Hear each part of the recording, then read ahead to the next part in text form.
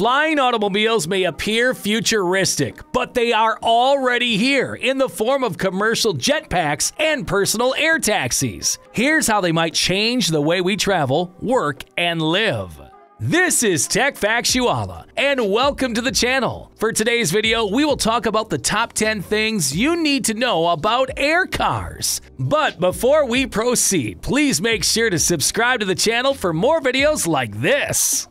The first Blade Runner film was set in a futuristic Los Angeles in 2019 with acid rain falling from the skies populated with skimmers or flying cars that zipped along aerial highways. Since the film's release in 1982, Technology has progressed in ways that Hollywood could never have foreseen. Selfie sticks, murder drones, and hashtag politics, to name a few examples. But flying cars still remain a far fetched fantasy, destined for science fiction novels and theme park rides.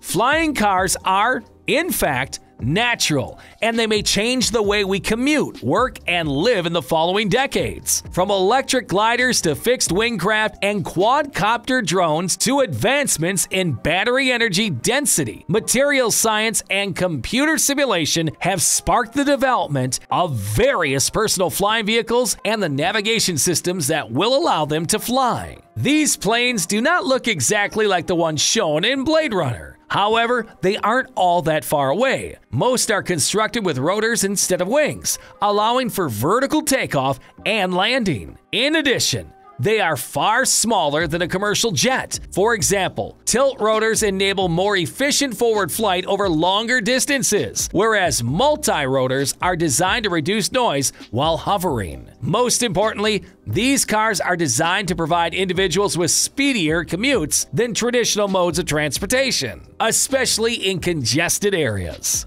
The autonomous urban aircraft market is still a bit of a wild west at present. Dozens of startups are vying for the rights to develop commercial jetpacks, flying motorcycles, and personal air taxis. Since the early 20th century, many prototypes have been created by employing a variety of flight technology. Although VTOL projects are on the rise, most of them have taken off and landed on a runway. None have yet been constructed in more than a few numbers. Both on the ground and in the air, a practical flying automobile must be capable of being safe, dependable, and environmentally benign. It must also fly without a qualified pilot at the controls and have low purchase and operating expenses to be widely adopted. Lift there have been numerous sorts of airplane technologies and form factors tested. Adding removable flying surfaces and a propeller to a drivable car was the most straightforward and oldest way. When traveling by road, however, such a design must either tow its removable sections on a separate trailer or leave them behind and return to them before continuing. Like the Terrafugia Transition, other fixed wing conventional takeoff designs have foldable wings that the car carries with it when driving the road. Vertical takeoff and landing are appealing because it eliminates the requirement for a runway and enhances operating flexibility significantly. As a result, rotorcraft and ducted fan driven lift combinations are standard designs.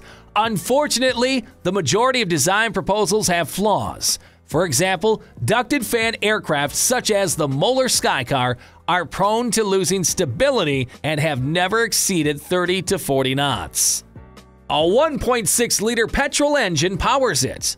Anything that flies need a lot of power to create push, which necessitates a powerful engine. The air car, ironically, is powered by a modest 1.6 liter petrol engine with a maximum output of 140 PS. According to its creators, the air car's range is projected to be 1,000 kilometers, and it consumes roughly 18 liters of gasoline each hour.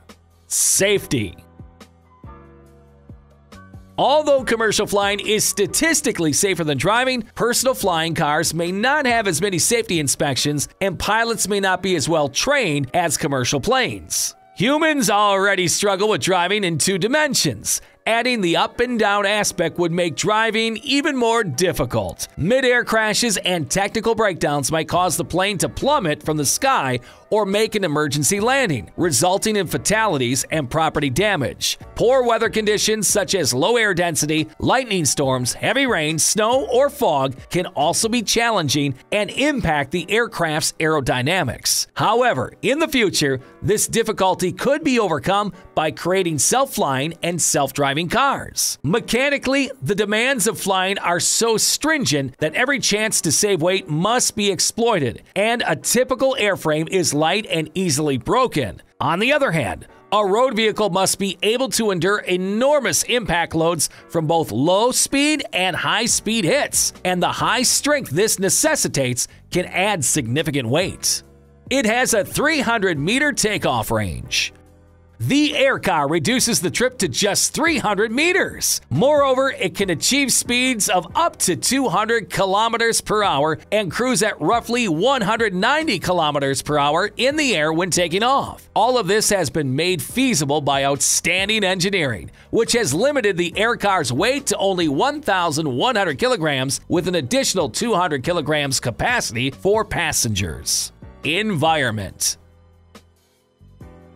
a widely used flying car must be able to operate securely in a densely crowded metropolitan setting. In addition, the lift and propulsion systems must be silent and they must not pollute the environment excessively. We are halfway down our list. Please make sure to like and share this video for automobile enthusiasts like you. Now, back on our list. Control. An essential flying car needs both a certified road driver and an aircraft pilot at the controls. Because this is impractical for the majority of individuals, computer systems will be used to de-skill piloting. These procedures include aircraft maneuvering, navigation, and emergency procedures, all of which occur in potentially congested airspace. Fly-by-wire computers can also compensate for flaws in flight dynamics like stability. In the future, a feasible flying automobile could be a fully autonomous vehicle with only passengers on board. It can change in three minutes. The air car must extend its wings and tail section to fly, which takes only three minutes. Since the time you get out of a car at the airport, that's a significant reduction in time it takes to take off in a passenger jet. The car's wings fold upwards before tucking into the vehicle's side, entirely hidden. When the button is pressed, the rear wing expands outwards and retracts when the air car is driven on the ground. Unlike the side wings, it is constantly visible. Cost the requirement for a remote and powerful propulsion system can now only be satisfied by utilizing advanced and expensive technologies. As a result, the manufacturing costs might be as high as $10 million.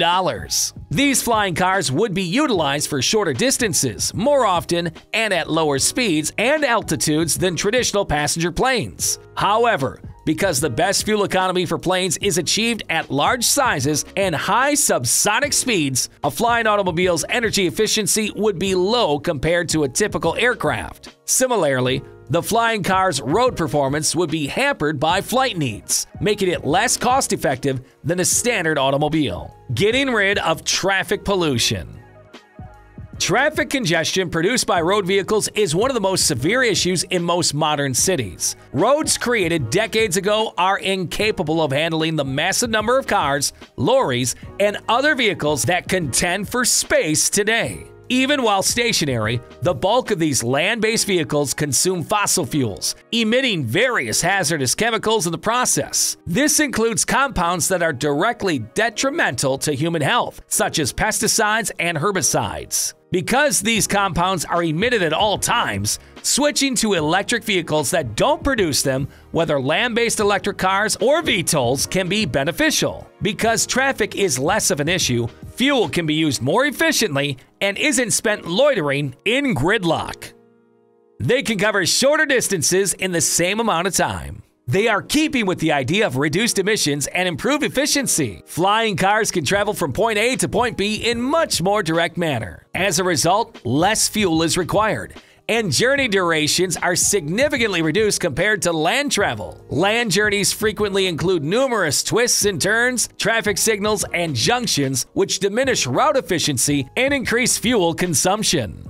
Even though firms like Uber aim for the first commercial flights of electric flying cars in the next few years, there are still many unanswered questions about this technology. Will it be helpful rather than a novelty? And more importantly, will it have a beneficial or harmful environmental impact? According to the current study, they are only worth employing for more extended travels between towns or cities more than 50 kilometers away. The efficient cruise phase and high speeds compensate for the wasteful takeoff and landing stages in this scenario. I don't see how they'll ever function as a realistic transportation solution in our cities unless technology progresses considerably. But I'd love to be proven wrong. In actuality, they will most likely only account for a small portion of future sustainable transportation, along with electric light railroads trams, self driving automobiles, and other modes of passenger transportation that are currently considerably more efficient. Another crucial issue to remember is that the advantages of electric flying cars or any other electric vehicle should only be considered when we can ensure that their batteries are charged with renewable energy. Yes, even when powered by fossil fuels, they will emit fewer direct emissions from the tailpipes. But this is only part of the problem. As a result, we must continue to strive for renewable grid to fuel these sustainable alternatives. And that's it for today's video. We hope you learned something. Please make sure to hit the subscribe button and the notification bell to be notified every upload. This is Tech Factuala, and we will see you on our next video.